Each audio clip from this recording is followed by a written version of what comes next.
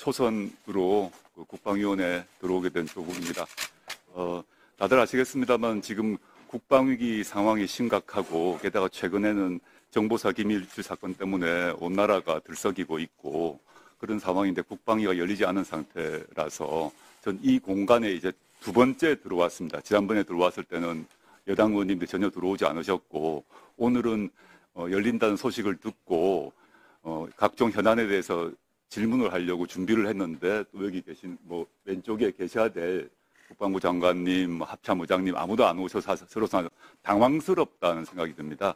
지금 아까 여당 의원님들께서 그 김병주 의원님의 사과 문제에 대한 얘기를 하셨는데 지금 김병주 의원님의 사과 문제가 급한 것인지 안 그러면 현재 우리나라의 국방 위기 현안에 대해서 국회로서 따져볼 일이 급한 것인지에 대해서 판단을 좀 해주시면 좋을 것 같고 특히 저로서는 오늘 국방위원장님, 국방부 장관님 오시게 되면 국방부 장관님께서 최근 언론 인터뷰에서 사실상 한미를 준군사 동맹에 준할 정도로 끌고 가시겠다는 의지를 표명하시고 준조약에 해당되는 문서에 서명하시는 얘기까지 하신 것 같습니다.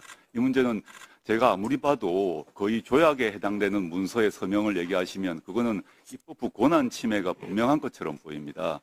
이 문제를 꼭 따져보고 싶었는데 어떠한 논의도 없이 지금 이런 상황이 진행되고 있고 제가 아는 바로는 어, 21대 국회에서 다른 상임위는 거의 다 열렸고 국방위가 거의 지금 현안 질의를 못하고 있는 거의 남은 유이한 유이한 상임위가 아닌가 알고 있는데 어, 오늘 상임위원장께서 향후 계획이 어떻게 하실 것인지에 좀 밝혀주시면 좋겠습니다. 이상입니다.